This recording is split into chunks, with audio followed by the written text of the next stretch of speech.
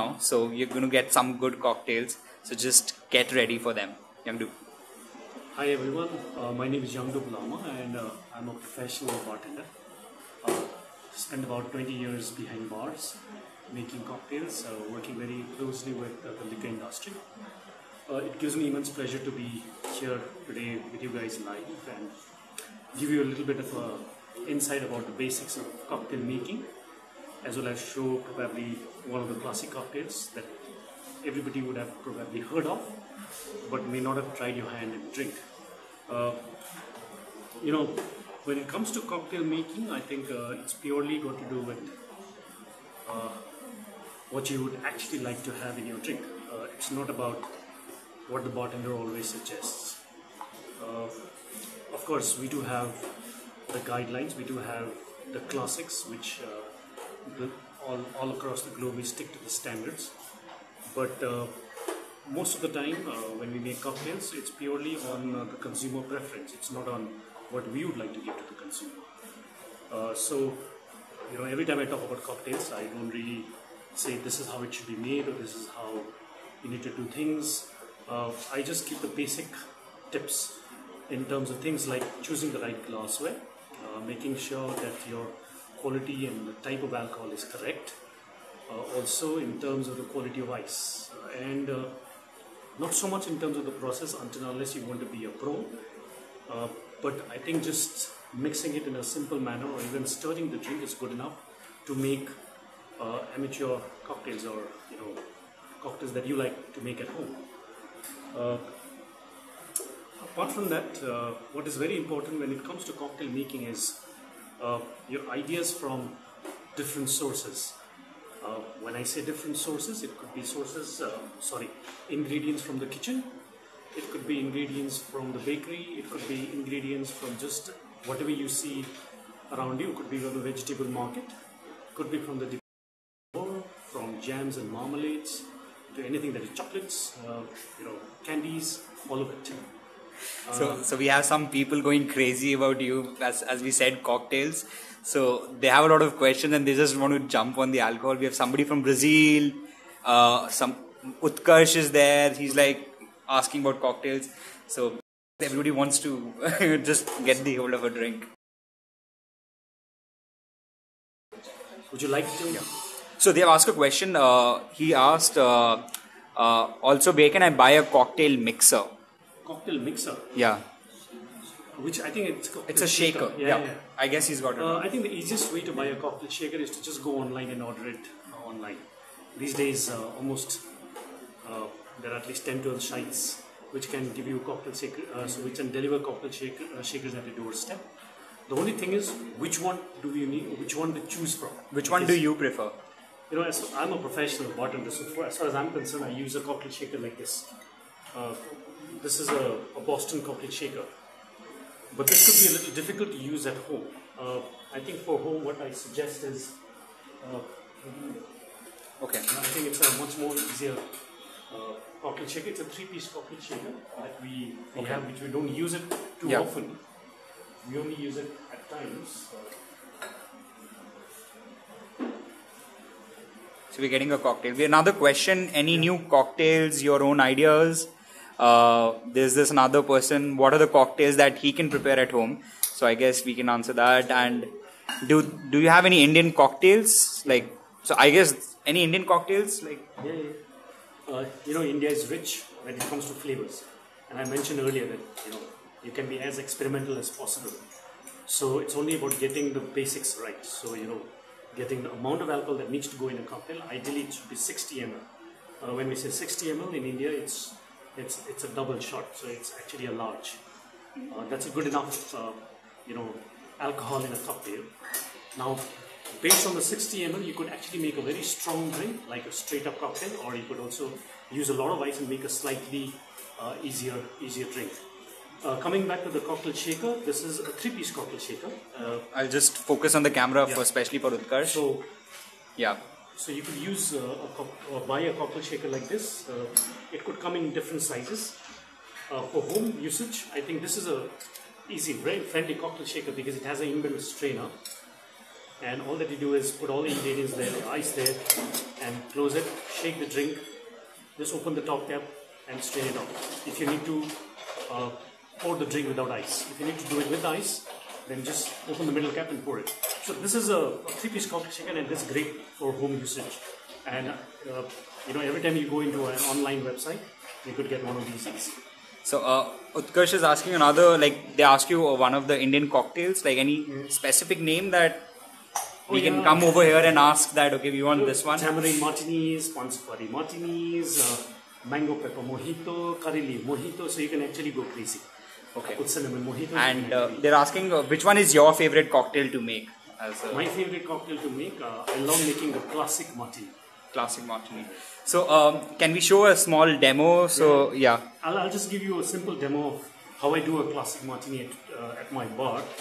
And just the reason why I like to make a classic martini is because uh, it's not very, everybody knows about the martini, but very few customers or very few people across the globe actually love to make a classic martini or love to drink a classic martini.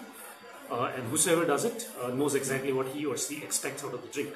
So we as bartenders do not take shortcuts. So I'll just uh, demo a simple classic martini.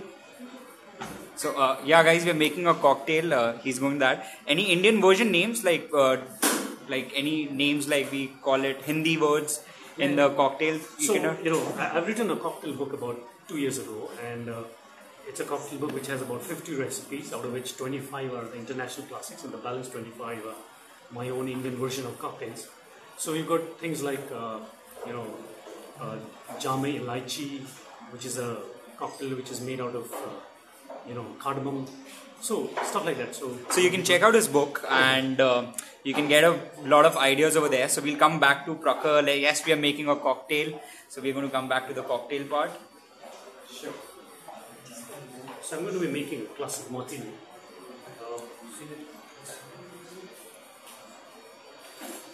So when we do a classic martini, the first and the foremost thing is to make sure that we have a martini glass uh, or a cocktail glass, which is nice and cold. Uh, since this is not chilled as yet, so I'm just going to do manual manual chilling of the glass. So I put some ice in there and we'll get back to your question. We're making a cocktail so you can enjoy this. And then So we'll get the back glass? to you. So I'll leave it aside. Uh, the second important thing is you take a mixing glass and fill it up with ice. Because it's a classic, and I said not too many people like a classic martini, but uh, anybody who orders a classic martini knows exactly what he or she wants out of the drink.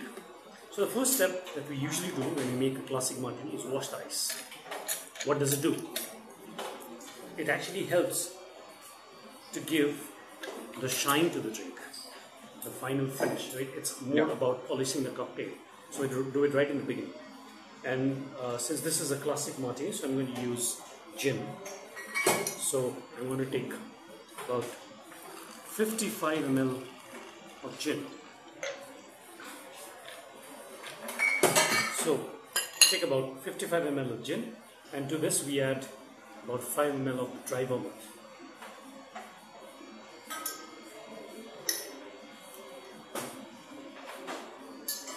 So the dry vermouth is something like this. Uh, this is a brand name called the Martini. A cocktail. It's actually a fortified wine.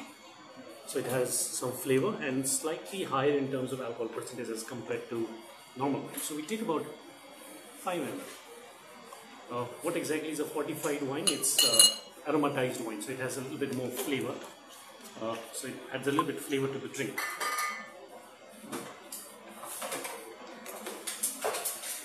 So the classic martini only has two ingredients, so there's gin and there's dry vermouth. And the next important thing to do with this drink is to stir it for a long time. So I'm just going to stir the drink, give it a nice good stir. So stir the drink for a long time.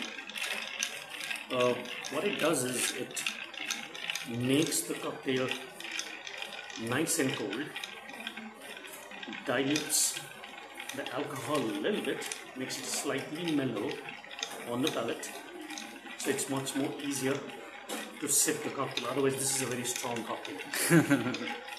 Probably the strongest when it comes to cocktails even stronger than a Long Island iced tea. Oh.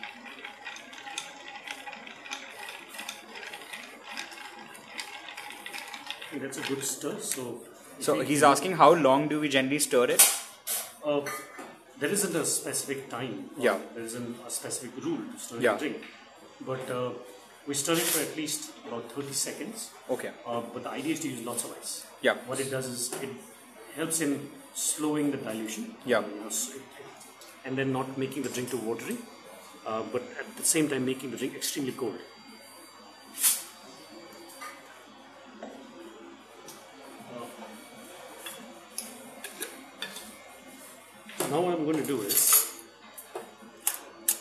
Just emptied the glass, Yep. so it's nice and chilled, frosted.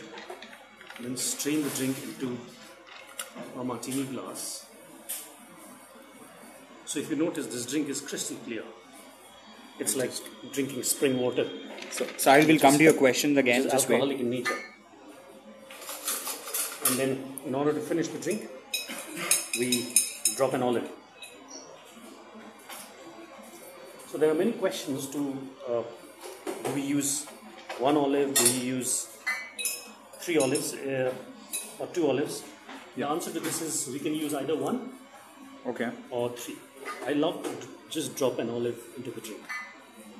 Uh, and, the, and the drink is done. We Awesome. could also twist the lime, uh, release some oils, and press it against the rim, but for now this is good. So, So this is a classic gin martini. Awesome. So some of them have a question like, uh, what's the difference uh, between shaking and stirring uh, of a drink, like, um and uh, what makes them so expensive when you serve them? Like, that's one of the biggest questions people.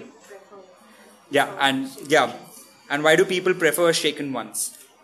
Uh, I think the reason why people fall for a shaken cocktail is just purely because they've been uh, seriously influenced by James Bond. Okay. Uh, the best martinis enjoyed stirred. We don't Okay. really shake a martini professionally. If I ever wanted to go to a bar and felt like having a martini, I would prefer to have a stirred martini rather than a shaken martini.